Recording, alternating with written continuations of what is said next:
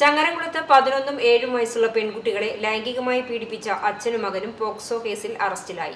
ബന്ധുക്കളായ സഹോദരങ്ങളെ ലൈംഗികമായി പീഡിപ്പിച്ചെന്ന പരാതിയിൽ ചങ്ങരംകുളം പാവിട്ടപ്പുറം സ്വദേശിയായ പാതാക്കര അയ്യപ്പൻ മകൻ വിഷ്ണു എന്നിവരെയാണ് പ്രത്യേക അന്വേഷണ സംഘം പിടികൂടിയത്. സ്കൂളിലെ കൌൺസിലിംഗിനിടെയാണ് സംഭവം പുറത്തറിഞ്ഞത്.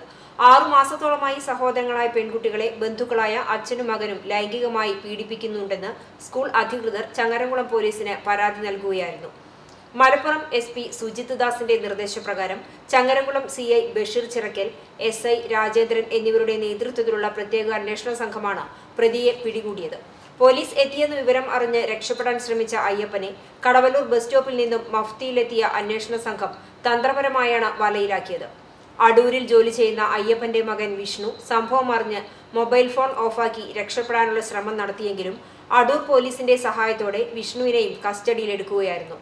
സംഭവത്തിൽ പോക്സോ പ്രകാരം നാല് കേസുകളാണ് എടുത്തിരിക്കുന്നത്. പ്രതികളെ പൊന്നാനി ജുഡീഷ്യൽ മജിസ്ട്രേറ്റ് കോടതിയിൽ ഹാജരാക്കും.